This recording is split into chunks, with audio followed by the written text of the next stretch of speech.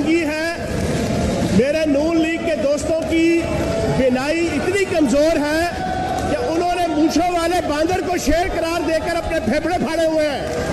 उन्हें यह नहीं पता कि वहाँ पर जो बैठा है वो शेर नहीं है वो मूछो वाला बांदर है। और वो सोलवे ग्रेड की लूमड़ी जो बैठी है उसके पीछे जो है वो अपना फेफड़े जो है वो उसका हल्का न करे। और इनको शर्म आनी चाहिए कि वो राजा चुनाव